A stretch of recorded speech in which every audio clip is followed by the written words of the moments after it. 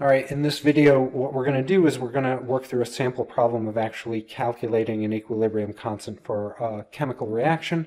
So it says the table below contains data from four experiments. So experiment one, two, three, and four on the dimerization of NO2. So here's NO2. Dimerization is just a fancy word for uh, two things kind of sticking together and forming one thing.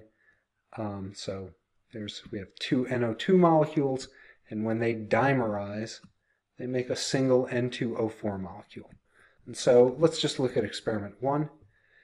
Over here, they're showing you what the beginning concentration in units of molarity are for the reactant, there it is, and for the product.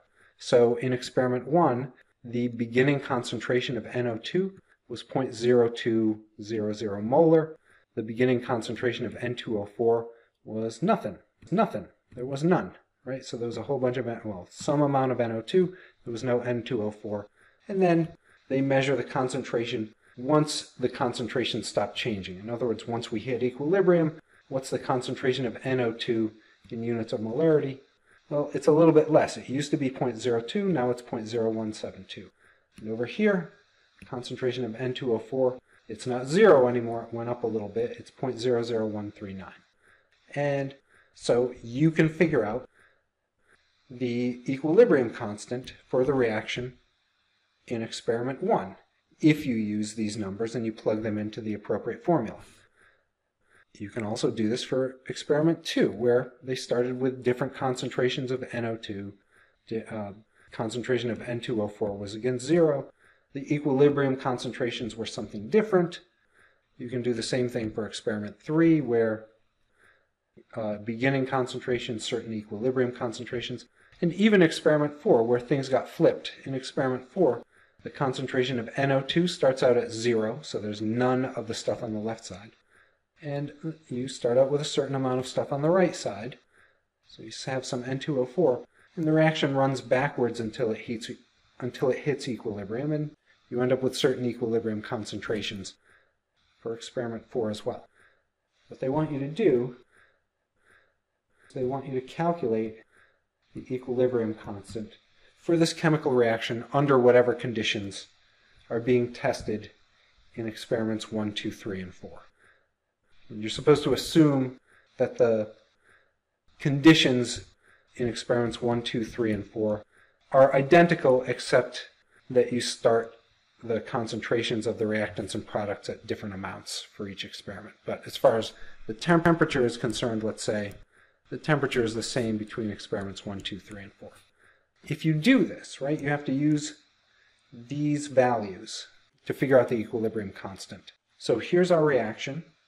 The formula for the equilibrium constant is going to be concentration of N2O4 raised to the first power divided by the concentration of NO2 raised to the second power, eh, as long as we're at equilibrium. So let's pick experiment 1. We're going to use these numbers because those are the equilibrium concentrations.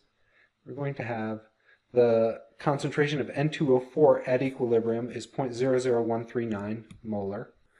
And then it's going to be divided by 0.0172 molar squared.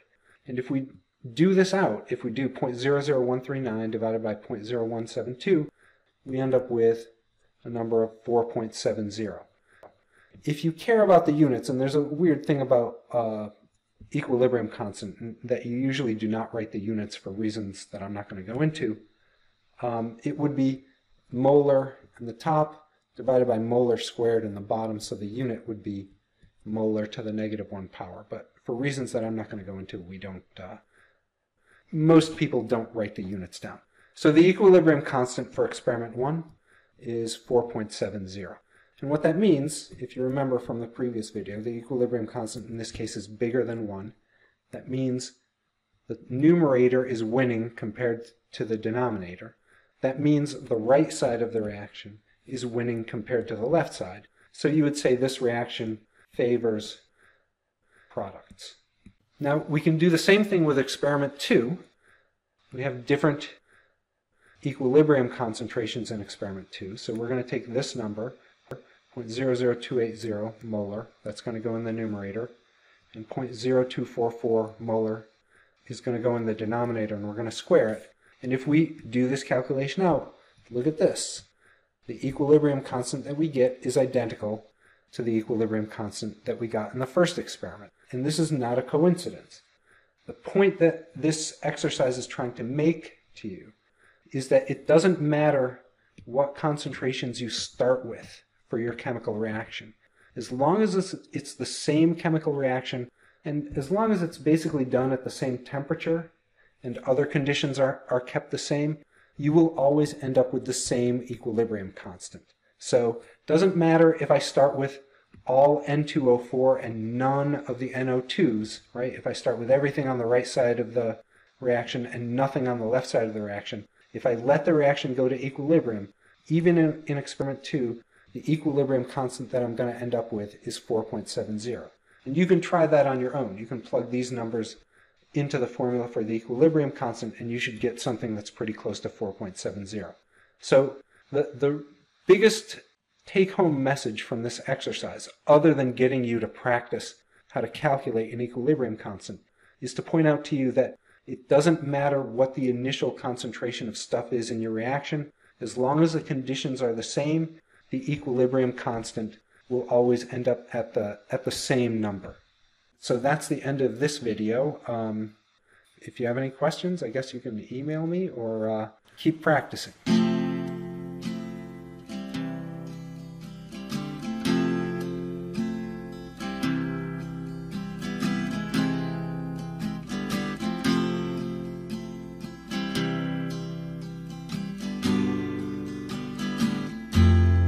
Shut